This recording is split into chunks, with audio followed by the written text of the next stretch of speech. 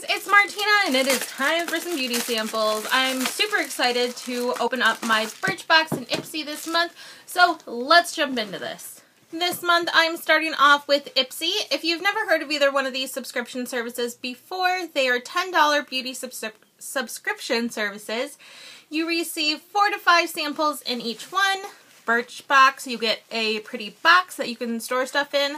Ipsy, you get a pretty bag, and the bags change every month. This month it looks like this, and it's really pretty. It's kind of like tie-dyed-ish.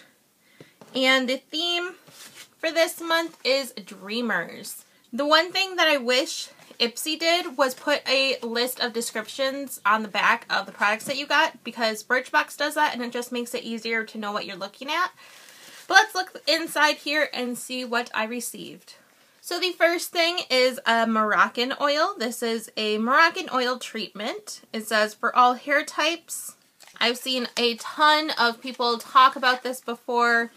It's very useful for flyaways and for keeping your hair nice and smooth and healthy and it helps protect your hair from heat and I just think that's a really really cool little thing to have.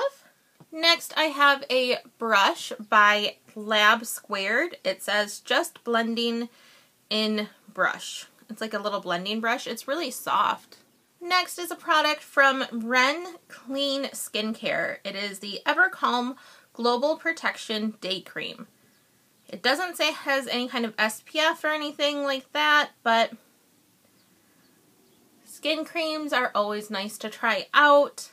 It just has a nice clean scent, so that'll be nice to try out, something to keep, um, use for a little extra moisturization for my skin.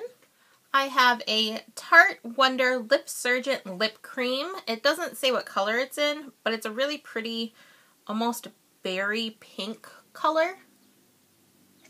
And these are nice and smooth and creamy and awesome. And then finally I have another product from Trust Fund Beauty. Yeah, Trust Fund Beauty. I received a nail polish from them before. This is called a That Glow Though highlighter. I love the packaging. The packaging is beautiful. The packaging on the inside, however, is a little lacking. I mean, you can see what it says clearly, but I just wish it was like this pretty box that it came in. I think that would have been prettier. But inside, it is just a stick highlighter. It is a really pretty pinkish shimmer shade. Yeah, that's really pretty. I don't know if you guys will be able to tell, but it's really, really pretty. And next onto Birchbox. I love when Birchbox will put like an adjective before your name. This month I am the peppy Martina. This month my box looks like this, which is absolutely beautiful. They partnered with Rifle Paper Co., which I have looked on their website previously. They have really, really pretty phone covers and stuff like that.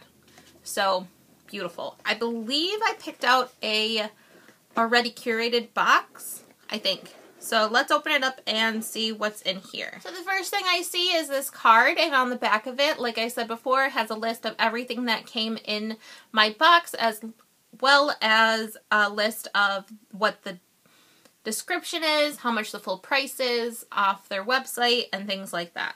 So we open this up, and one thing I wanted to point out that I've noticed they've started doing is putting like this foam in the bottom, which is really nice because it protects your products.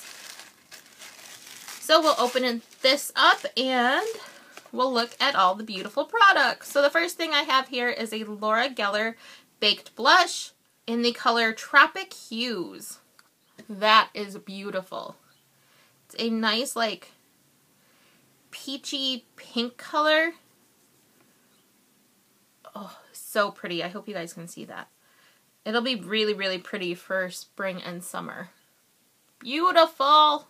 Then I have a Birchbox exclusive Marcelle 3-in-1 micellar solution. Um, I love trying out new micellar waters. I have tried them from the Simple brand, Garnier, and there's another one I know I've tried. So I'm excited to try this out too. I like to try and compare them and see which one I like better. I received a hand cream.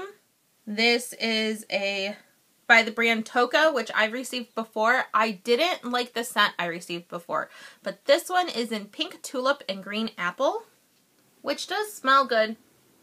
It smells more florally than fruity, but and it smells a little bit like a powder, but it does smell good still. I will definitely be using this. I have a little contour cream from Dr. Jart Plus. It is a Liftra contour cream. Hmm. It says that it is a high-tech, first of its kind collagen producing cream visibly firms lip lifts and plumps skin. That's interesting. Wonder if that's supposed to be like for your under eye maybe?